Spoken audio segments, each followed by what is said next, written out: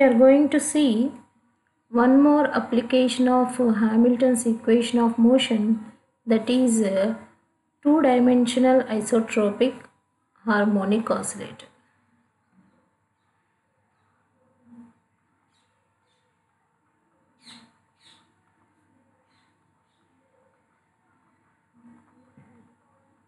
Isotropic harmonic oscillator in terms of uh, Cartesian coordinates.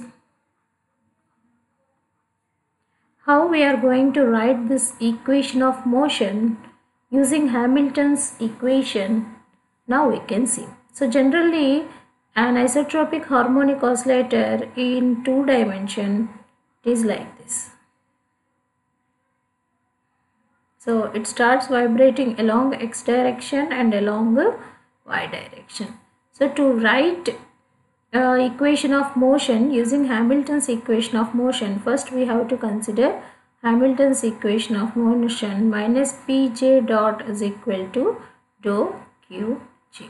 But here the isotropic harmonic oscillator is moving along x direction and along y direction. So hence we have to consider two equation of motions along x direction and along y direction. So if you can write this along x direction, this Hamilton's equation of motion becomes uh, dou h by dou x.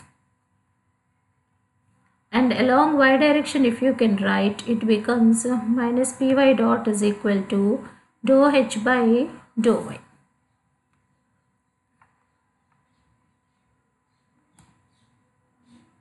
Now, as we know that the first point we have to consider to write the equation of motion is first take the equation of motion of Hamilton's equation. Next, we have to write the Hamilton's function.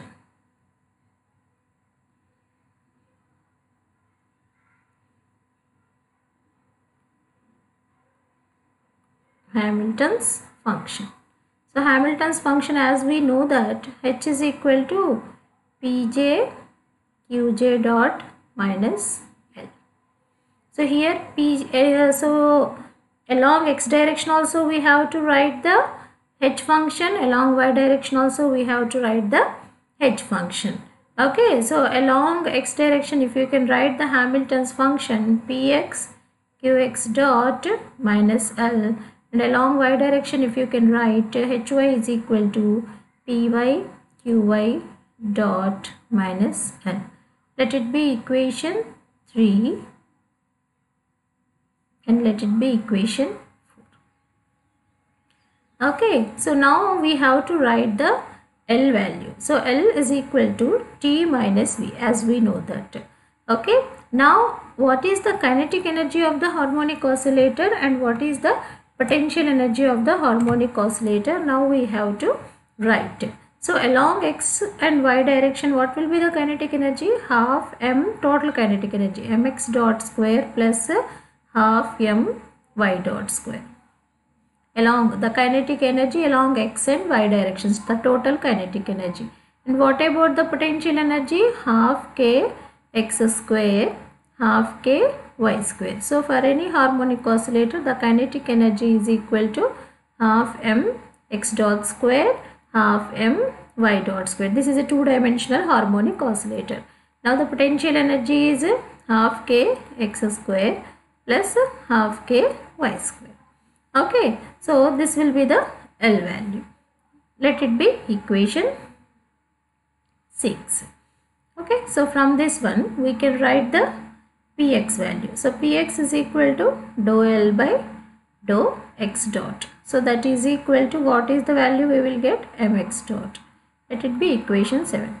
Now py, how you can get the py is equal to m into y dot. So because all these terms doesn't contains uh, mm, y dot, so we will get only y dot. Dou L by dou y dot that is equal to my dot. Let it be equation 8. okay so now therefore if you can write equation 3 becomes what happens?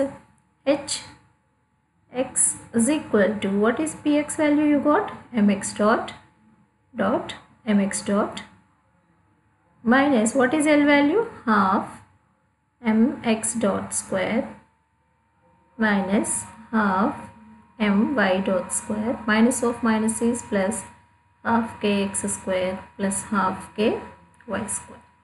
So along x direction we are writing. So first we will solve this. Now h x is equal to we will get half m x dot square minus half m y dot square plus half k x square plus half k y square. So we got the Hamilton function along x direction. Now what is the Hamilton's equation of motion? Minus px dot is equal to 2hx by 2x. So if you can write this one, this first term doesn't have x term, the second one doesn't have only this third term is only having the x term. So what is the value we will get? Half k into 2x.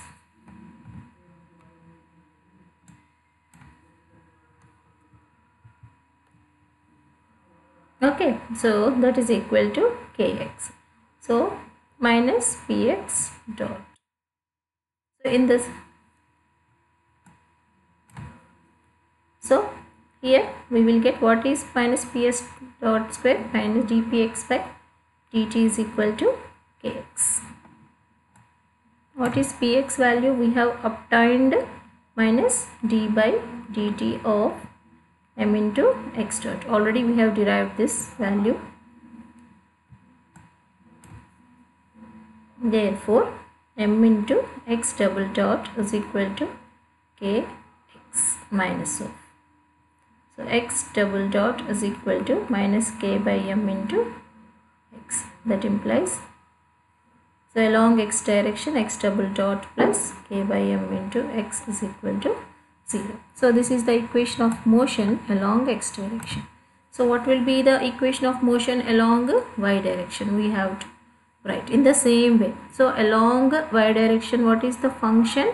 So py y dot minus l.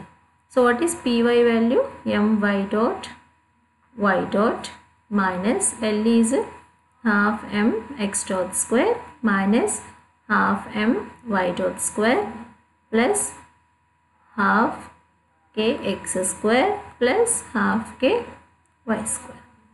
So that is equal to we will get half m y dot square minus half m x dot square plus half k x square plus half k y square. So we got the Hamilton along y direction. Now take the Hamilton's equation of motion along the y direction that is dou h y by dou y. So if you can derive this one, what you will get? Dpy by dt. So it doesn't have y term, it doesn't have y term, it doesn't have y term. So we get only ky. So minus dy dt of what is py? my dot is equal to ky. So we will get my double dot is equal to minus ky and y double dot is equal to minus k by m into y and y double dot plus k by m is equal to y is equal to 0. Now hence in the two dimensional isotropic harmonic oscillator the equation of motions of a two dimensional harmonic oscillators are along x direction is x double dot plus k by m into x is equal to 0 along y direction y double dot plus k by m into y is equal to 0 either it may be x or y direction. The frequency is equal to angular frequency. Omega is equal to k by m hope you have understood